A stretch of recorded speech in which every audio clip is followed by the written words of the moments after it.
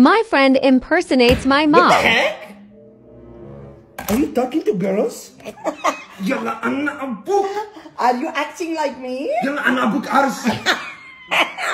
Okay? Show me what you got.